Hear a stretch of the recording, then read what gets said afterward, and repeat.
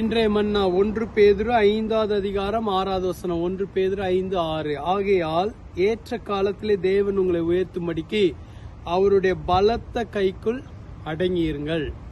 இங்கு கர்த்தருடைய வார்த்தை நமக்கு ஒரு ஆலோசனை சொல்லுகிறது. அவருடைய பலத்த கைக்குள் அடங்கியிருக்கும்படியாக. ஏனென்றால் ஏற்ற வேலையில அவர் உயர்த்த வல்லவராயிருக்கிறார். நம்மளை உயர்த்துவதற்கு ஒரு காலத்தை கத்தர் வைத்திருக்கிறார்.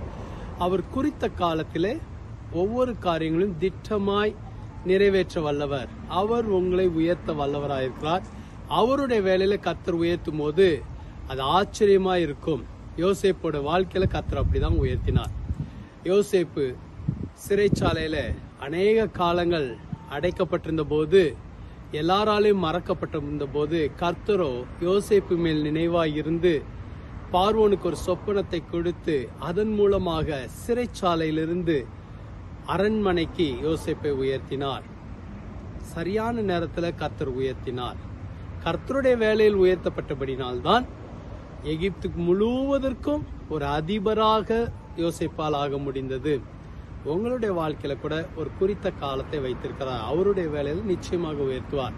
அவருடைய வேலையில உயர்த்தும் போது உயரமான இடங்களிலே கொண்டு போய் உங்களை நிறுத்துவார். ஆகவே சோர்ந்து போகாதீங்க. அவர் உங்களை உயர்த்துகிற தேவன். ஜெபிப்போமா?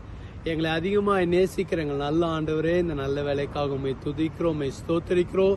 கர்த்தருடைய கிருபையுள்ள கரத்துக்குள்ளாக ஒப்பு கொடுக்கிறோம். எங்களை ஏற்ற வேலையில உயர்த்த வல்லவர்.